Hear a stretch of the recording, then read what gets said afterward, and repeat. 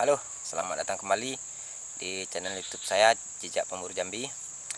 Apa kabar kalian semua sahabat-sahabatku di mana pun berada di belahan dunia mana pun kalian berada.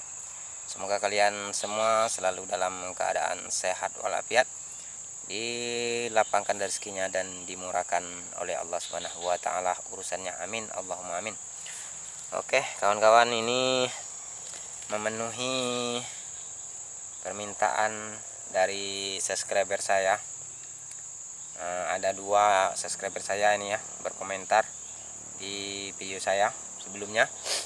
Katanya namanya Bang Adriansah 777 ya. Beliau ini meminta Bang lebih detailnya Bang gimana cara bikin jebakannya ya.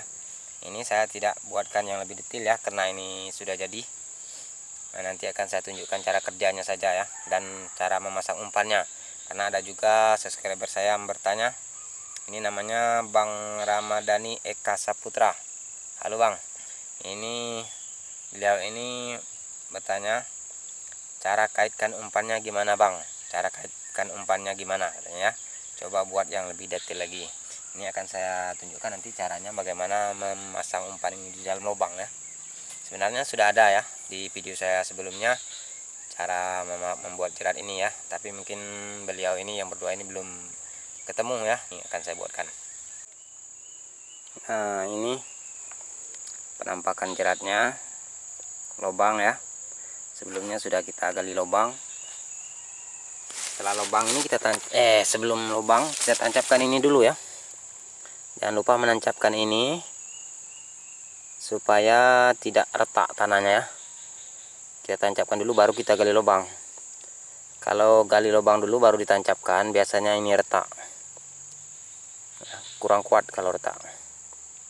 Makanya sebelum gali lubangnya tancapkan kayunya ini dulu. Kayu cabang ini ya. Ini seperti cap cabang ketapel. Setelah itu ini selingnya ini kalau untuk lebih kuatnya ini dari tali rem motor ya. Nah ini. Talinya ini boleh disambung dengan tali plastik karena monyetnya kalau kena ini tidak sampai menggigit ke sini ya. Dia hanya menggigit di dekat tangannya sini saja.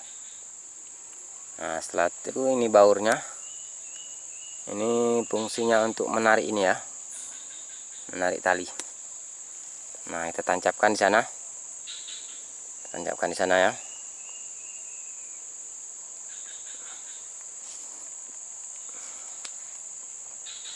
Nah umpannya ini. Ini ya. Ini ada kayu. Kayu kecil ini untuk kenahan picunya ini. Ini ada picu. Coba saya lepaskan dulu ya picunya. Nah picunya itu seperti ini nah ini saya buat dari besi ya supaya lebih kuat. Nah ikatkan di sini. Nah ini picunya untuk menahan ini ya. Nah.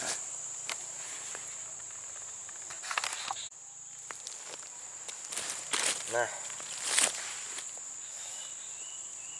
Begini ya. Nah, guna picu ini tadi kita sangkutkan di sini. Di kayu ini ya kayu yang capang seperti ketapel ini. Nah setelah itu kita tahan dengan kayu kecil ini ya ini udah ada tali. Nah tahankan ke sini. Nah ini ini nanti akan kita lingkarkan di sini di pinggir lubang seperti ini ya. Nah setelah itu kita tutupi dengan tanah ya ini ada tali kecil di sini. Tali ini untuk menarik ini ya.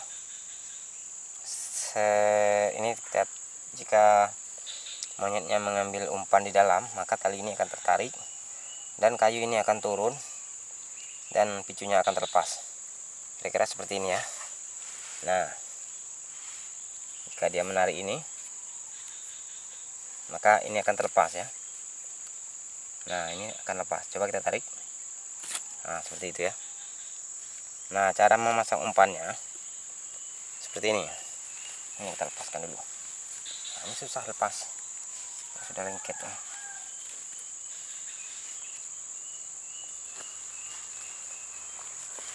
cara memasang umpannya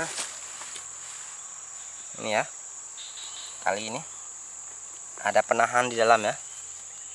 Nah ditahan seperti ada kayu lagi seperti ini kita tancapkan di dalam. Karena ini sudah saya pasang ya. Nah kira-kira seperti ini kayunya. Fungsinya untuk menahan tali umpan ini ya. Nah sekarang saya akan pasang umpannya ya.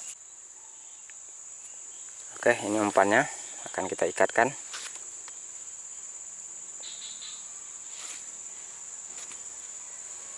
Ini untuk peman kita iris-iris seperti ini untuk pancingan di luar ya. Kita letakkan di pinggir-pinggir lubang ini supaya monyetnya nanti nampak umpan yang di dalamnya. Ini umpannya akan kita ikatkan. Nah caranya seperti ini ya. Nah ini sudah seperti tali jerat. Kita pasang. Nah jadinya seperti ini ya. Nah ini ya umpannya di dalam saat monyetnya mengambil umpan ini maka ini akan tertarik. Seperti ini kira-kira ya. Nah.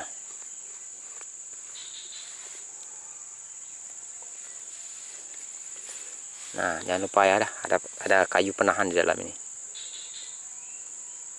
Kayu seperti ini tadi. Nah. Oke sudah cukup jelas sepertinya jika ada yang perlu ditanyakan silahkan komentar di bawah ya. Nah ini sudah terpasang ya. Jangan lupa talinya ini ditutupin dengan tanah ya supaya monyetnya tidak curiga. Nah ini ditutupin dengan tanah. Tutupin semuanya ini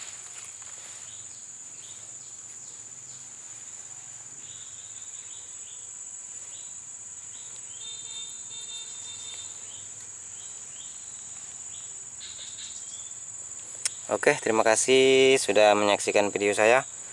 Semoga bermanfaat. Assalamualaikum warahmatullahi wabarakatuh.